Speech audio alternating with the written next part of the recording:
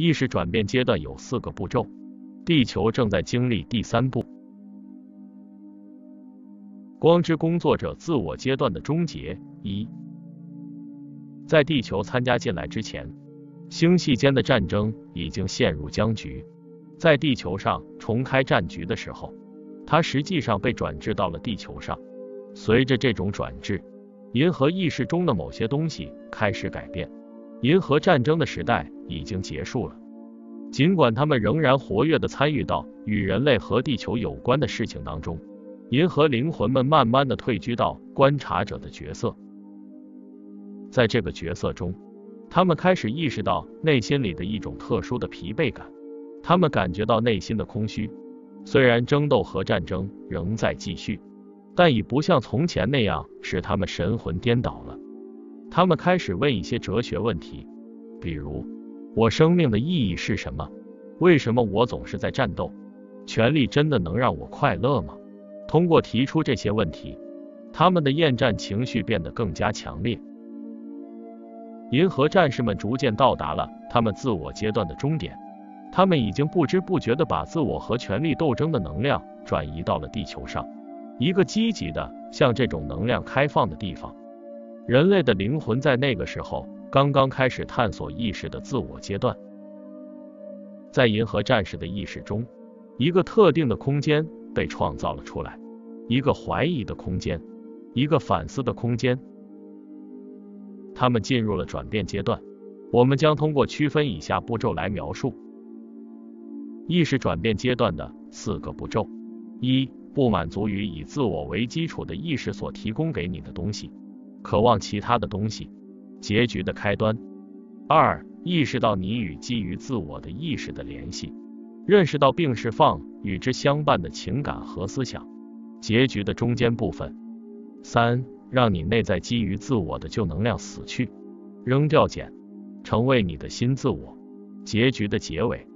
四，在爱和自由的驱动下，在你内心唤醒一种以心灵为基础的意识，帮助他人实现转变。这四个步骤标志着从基于自我到基于心灵的意识的转变。请记住，地球、人类和银河疆域都经历了这个阶段。只是不是同时而已。地球现在正在经历第三步，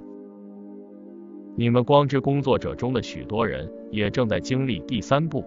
与地球的内在过程相协调。你们中的一些人还在第二步中挣扎，也有一些人已经达到了第四步，品味着由衷的喜悦和鼓舞。然而，大部分人类根本不想释放基于自我的意识。他们还没有进入转变阶段的第一步，这不是要去评判、批评或悲伤的事情。试着把它看作一个自然过程，比如一株植物的生长。你不会因为一朵花呈现出花蕾，而不是怒放的状态，就因此评判它。试着从这个角度来看，对你的世界中基于自我的意识所带来的破坏性影响做出道德评判。是出于缺乏对灵性动态的洞察力。此外，它削弱你自己的力量，因为你有时在看新闻或读报纸时感到的愤怒和沮丧不能转化为有建设性的东西，它只会耗尽你，并降低你自己的振动水平。试着退一步，从远处看事情，从一种信任的态度去看，试着用直觉去感知集体意识中的潜流。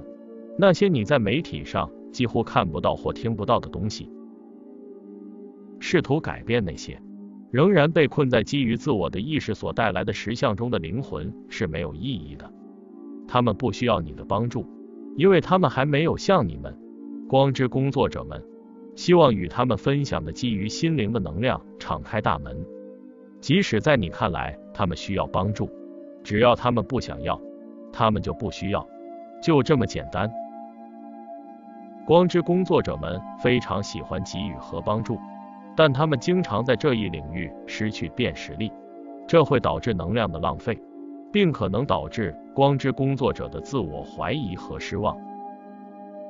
请在这里使用你们的辨识力，因为帮助的渴望能够不幸的成为光之工作者的陷阱，阻止他们真正完成转变的第三步。